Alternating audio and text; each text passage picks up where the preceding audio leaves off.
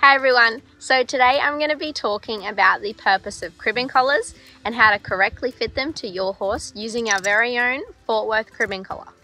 So the purpose of cribbing collars is to deter your horse from the behavioural habit known as cribbing.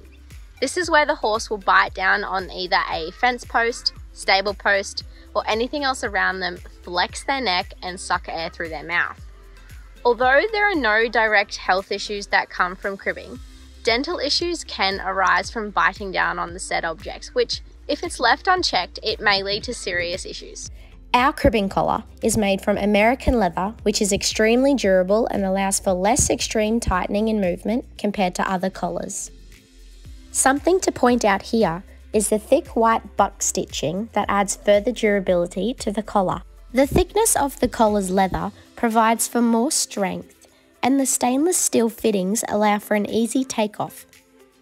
So when you fit the collar, you take the strap behind the ears and ensure that the buckles on either side are even.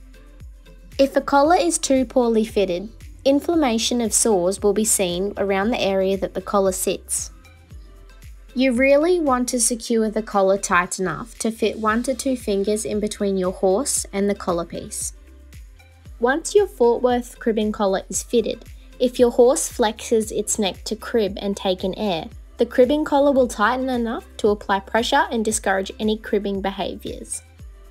So, if you have a horse in your paddock or stable who is either a cribber or showing signs, you are now able to correctly fit your own Fort Worth cribbing collar to prevent these behaviours from increasing. So, shop the link below or head to your nearest Greg Grant saddlery today. Thanks for watching, and we will see you guys next time.